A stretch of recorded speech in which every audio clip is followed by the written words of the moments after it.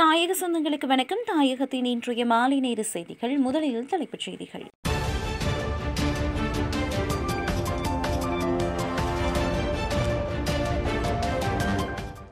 சிதறும் பொதுஜன பெரமுனவின் வாக்குகள் இறுதி நேரத்தில் சஜித்திற்கு கிடைத்துள்ள வாய்ப்பு. மாணவரை தாக்கிய ஆசிரியருக்கு வழங்கப்பட்டுள்ள உத்தரவு. இலங்கையில் மக்களிடமிருந்து மறைக்கப்பட்ட விடயம் அம்பலப்படுத்தும் பதில் ஜனாதிபதி. இலங்கை வரலாற்றில் எழுபத்தி நான்கு ஆண்டுகளின் பின்னர் அரசியல் சார்ந்த மாற்றங்கள். சூடுபிடிக்கும் ஜனாதிபதி தேர்தல்களும் பெரும்பான்மை வாக்குகள் டலஸுக்கு. டலஸால் ஜனாதிபதியாவதற்கு தேவையான வாக்குகளை விட அதிக வாக்குகளை பெற முடியும் சன்னு ஜெயசுமட அறிவிப்பு.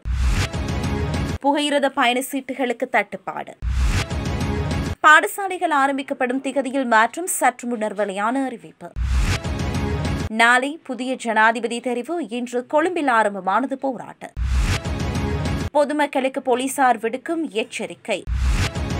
எரிபொருள் விநியோகம் தொடர்பில் வெளியான முக்கிய அறிவிப்பு. தமிழகத்தில் ஏழு இலங்கையர்கள் தஞ்சம். இனி விரிவான செய்திகள்.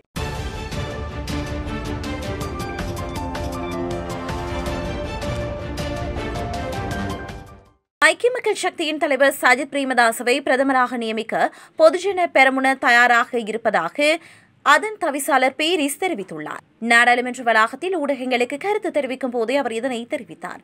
புதிய ஜனாதிபதியை தெரிவு செய்வதற்கான வேட்புமனு தாக்கல் இன்று இடம்பெற்றது. நாளைய தினம் இதற்கான வாக்கெடுப்பு நடத்தப்படும். இதுவரை ஜனாதிபதி தேர்தலில் தானும் போட்டியிடுவதாக அறிவித்து வந்த எதிர்க்கட்சித் தலைவர் சஜித் பிரேமதாஸ் இறுதி நேரத்தில் தனது முடிவை மாற்றிக் கொண்டுள்ளார். இதன்படி இன்றைய வேட்புமனு தாக்கலின் போது டலஸ் அலகப்பெருமவின் பெயரை எதிர்க்கட்சித் தலைவர் சஜித் பிரேமதாஸ் முன்மொழிந்தார். டலஸ் அலகப்பெருமவுக்கு ஆதரவளிப்பதாகவும் தனது டுவிட்டர் பதிவில் அவர் தெரிவித்திருந்தார். டலஸ் அலகப்பெரும ஜனாதிபதியாக தெரிவு செய்யப்பட்டால் சஜித் பிரேமதாஸ் பிரதமராக நியமிக்கப்படுவார் என ஐக்கிய மக்கள் சக்தியின் பொதுச் செயலாளர் ரஞ்சித் மத்தும பண்டார தெரிவித்தார். உடன்படிக்கையின் அடிப்படையில் இது மேற்கொள்ளப்படும் எனவும் மத்தும பண்டார தெரிவித்தார். கொழும்பில் அமைந்துள்ள தேசிய பாடசாலை ஒன்றில் குழப்பம் செய்த மாணவர் ஒருவரை கன்னத்தில் அறைந்த குற்றத்திற்காக ஆசிரியர் ஒருவருக்கு இரண்டு ஆண்டுகள் கடூழிய சிறை தண்டனை விதிக்கப்பட்டு அந்த தண்டனை ஐந்து ஆண்டுகளுக்கு ஒத்திவைக்கப்பட்டுள்ளது. அத்துடன் பாதிக்கப்பட்ட மாணவனுக்கு ஒன்றரை லட்சம் ரூபாய் நட்டையீடு வழங்குமாறு மேலும் ஆயிரத்து ஐநூறு ரூபாய் தண்டப்பணம் செலுத்துமாறும் கொழும்பு மேல் நீதிமன்ற நீதிபதி அமல் ரணராஜா உத்தரவு பிறப்பித்தார். மேலும் இந்த அபராத தொகையை செலுத்த தவறினால் தலா ஆறு மாதங்கள் சிறை தண்டனை விதிக்கப்படும் எனவும் நீதிபதி அறிவித்தார்.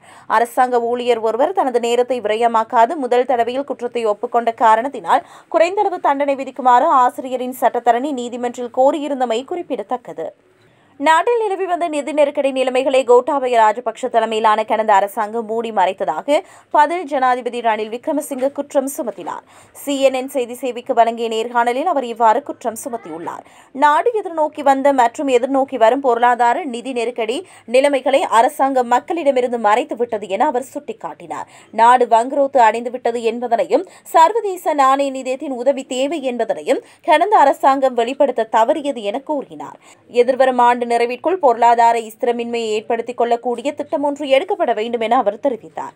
நாட்டு மக்கள் நெருக்கடிகளை எதிர்நோக்குவதனை தாம் விரும்பவில்லை என அவர் கூறினார். இலங்கை வரலாற்றில் எழுபத்தி நான்கு ஆண்டுகளுக்கு பின்னர் அரசியல் சார்ந்த மாற்றங்கள் தற்போது ஏற்பட்டுக் கொண்டிருக்கின்ற இந்த நேரத்தில் எதிர்க்கட்சித் தலைவராகிய கட்சித் தலைவராக பொறுப்பிலிருந்து இருக்கின்ற ஒரு தலைவரான சஜித் பிரேமதாஸ் நாட்டு மக்களின் நலனுக்காக பொது இணக்கப்பாட்டுடன் இணைந்திருப்பதாக நாடாளுமன்ற உறுப்பினரும் ஜனாதிபதி வேட்பாளருமான டலசலக பெரும கூறினார். எதிர்க்கட்சித் தலைவர் சஜித் பிரேமதாசுடன் இணைந்து வழங்கிய விஷய அறிவிப்பில் அவர் இந்த அறிவிப்பினை வெளியிட்டுள்ளார். அத்துடன் அரசியல் கலாச்சாரத்தை மாற்ற வேண்டும் நாடாளுமன்றத்தை சுற்றியிருக்கும் ஆற்றில் இருக்கும் நமக்கும் அதற்கு வெளியில் இருக்கும் மக்கள் படும் துன்பம் தெரிகிறது. மக்களும் நாங்களும் சேர்ந்து பயணிக்க வேண்டிய காலம் தற்போது ஏற்பட்டிருக்கின்றது. கட்சி வேறுபாடு இனமத வேறுபாடு இன்றி அனைவரும் ஒன்றிணைந்து பயணிக்க வேண்டிய கட்டாயத்தில் இருக்கின்றோம் என கூறினார். நூற்று முப்பது பெரும்பான்மை வாக்குகளை பெற்று டலஸ் அலக பெரும ஜனாதிபதி தேர்தலில் வெற்றியீட்டுவார் என ஐக்கிய மக்கள் சக்தியின் நாடாளுமன்ற உறுப்பினர் ராஜித சேனாரத்ன தெரிவித்தார். புதிய ஜனாதிபதியை தெரிவு செய்வதற்கான வாக்கெடுப்பு நாளைய தினம் நாடாளுமன்றில் நடைபெறவுள்ளது. தற்போதைய பதில் ஜனாதிபதி ரணில் விக்ரமசிங்க பொதுஜன பெருமுனவின் நாடாளுமன்ற உறுப்பினர் டலஸ் அலக பெரும எதிர்க்கட்சித் தலைவர் சஜித் பிரேமதாஸ் மக்கள் விடுதலை முன்னணியின் தலைவர் அனுர்குமார் திசாநாயக் உள்ளிட்டோர் போட்டியிடுவதாக அறிவித்திருந்தனர். எனினும் எதிர்க்கட்சித் தலைவர் சஜித் பிரேமதாச ஜனாதிபதி தேர்தலில் போட்டியிடப் போவதில்லை என்றும் தனது ஆதரவினை டலஸ் அலக பெருமவுக்கு வழங்கப் போவதாகவும் இன்று காலை அறிவித்திருந்தார். இந்த நிலையில் டலஸ் அலக பெரும தரப்புக்கும் சஜித் அணிக்கும் இடையில் இன்று மாலை முக்கிய கலந்துரையாடல் இடம்பெற உள்ளதாக அறிவிக்கப்பட்டிருந்தது. அத்துடன் தமிழ் தேசிய கூட்டமைப்பின் தீர்மானம் தொடர்பில் சில குழப்பங்கள் இருந்தாலும் இன்று மத்தியஸ்தம் செய்து கலந்துரையாடி தீர்ப்பதற்கு எதிர்பார்ப்பதாகவும் ராஜித சேனாரத்ன கூறியுள்ளார். தொழில் வல்லுநர்கள் மற்றும் நாடாளுமன்றத்திற்கு புதிதாக வருகை தந்துள்ளவர்கள் டலசலக பெருமவை ஜனாதிபதியாக்குவது தொடர்பில் இணக்கப்பாட்டுக்கு வந்துள்ளதாக முன்னாள் அமைச்சர் சன்ன ஜாயசுமர தெரிவித்தார். ஊடகங்களுக்கு கருத்து வெளியிடும் போது அவர் இதனை கூறினார். மேலும் தெரிவிக்கையில் மோசடி மற்றும் ஊழலற்ற ஒருவரை நாட்டை வழிநடத்த வேண்டும். மேலும் அழகு பெரும அத்தகைய பண்புகளை கொண்டவர். அடுத்த பதினெட்டு மாதங்களில் அரசியல் மற்றும் பொருளாதார ஸ்திரத்தன்மையை உறுதி செய்வதற்கான தனது திட்டங்களையும் அவர் வெளிப்படுத்தி உள்ளார் மேலும் அழகு பெருமவால் தேவையான வாக்குகளை விட சுமார் இருபது வாக்குகள் அதிகம் பெற முடியும் என கூறியுள்ளார். புகையிரத பயணச்சீட்டுகளுக்கு தட்டுப்பாடு நிலவுவதாக தெரிவிக்கப்படுகிறது. புகையிரத நிலையங்களில் அச்சிடப்பட்ட பயணச்சீட்டுகளின் கையிருப்பு குறைந்து வருவதால் இலத்திரனியல் பயணச்சீட்டுகளை வழங்கும் நடவடிக்கையை துரிதப்படுத்துமாறு இலங்கை புகையிரத நிலைய அதிபர்கள் சங்கம் கோரிக்கை விடுத்துள்ளது.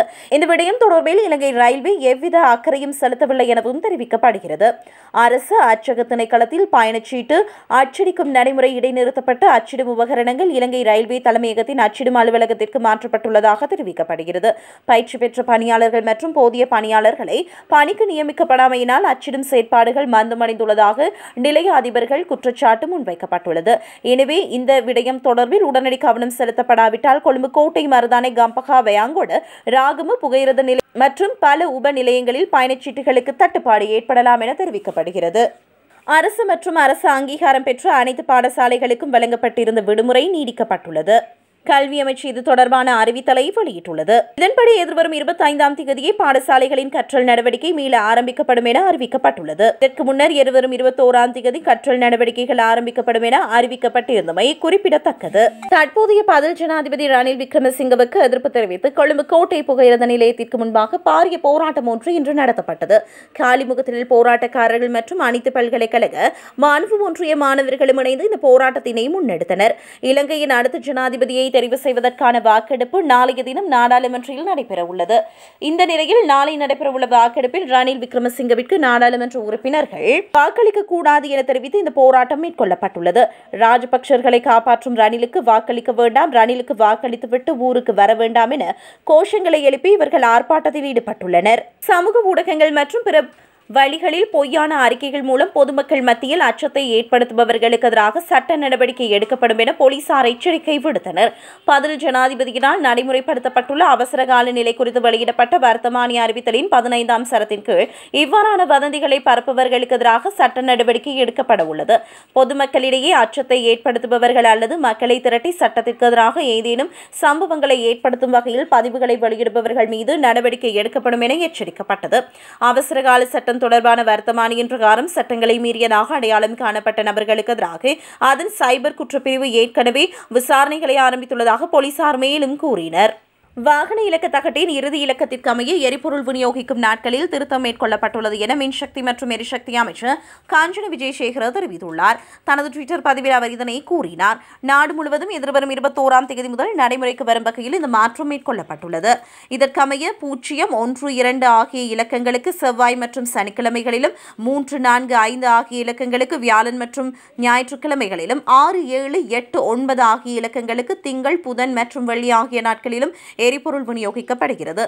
இதேவேளை எதிர்வரும் இருபத்தொன்று முதல் இருபத்தி நான்கு வரையான திகதிகளில் கொழும்பின் பல இடங்களில் எரிபொருள் பெறுவதற்காக கியூஆர் குறியீடு பரிசோதிக்கப்படும் என தெரிவிக்கப்படுகிறது. இலங்கையிலிருந்து இரு குடும்பங்களை சேர்ந்த ஏழு பேர் கடல் வழியாக தமிழகத்திற்கு சென்று தஞ்சம் அடைந்துள்ளனர் இலங்கையிலிருந்து இவர்களை அழைத்துச் சென்ற படகோட்டிகள் தனுஷ்கோடிக்கு அருகில் உள்ள ஐந்தாம் மணல் திட்டில் அவர்களை இறக்கிவிட்டு தப்பிச் சென்றனர். இந்த நிலையில் தகவல் அறிந்த தமிழக கடலோர பாதுகாப்பு பிரிவினர் அவர்களை மீட்டு மண்டபம் கடலோர பாதுகாப்பு பிரிவு போலீசாரிடம் ஒப்படைத்துள்ளனர்.